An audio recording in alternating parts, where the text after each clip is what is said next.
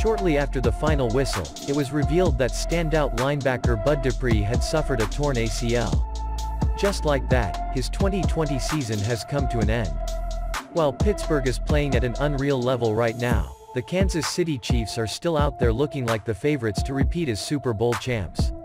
Should the two eventually meet in the playoffs, not having Dupree could prove to be the difference for Pittsburgh not coming out on top. With everyone dreaming of a Steelers-Chiefs AFC Championship game showdown, not having Dupree out on the field would be simply awful. With the Chiefs' offense basically unstoppable, the only way to really slow Patrick Mahomes down is by getting pressure on him early and often. In the second half of the Kansas City win over Tampa Bay, the Buccaneers really brought the house in on Mahomes throughout both the third and fourth quarter. With that being the case, the pocket would collapse on Mahomes and he would barely have any time to make a decision. That wasn't the case early on, with Tyreek Hill alone exploding for more than 200 receiving yards and two scores, in the first quarter. The Pittsburgh defense has been nasty throughout the season.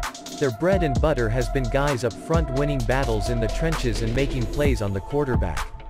Before suffering his season-ending knee injury, Dupree had posted 8 sacks. The man loved nothing more than beating a tackle on the outside to bring a signal caller down.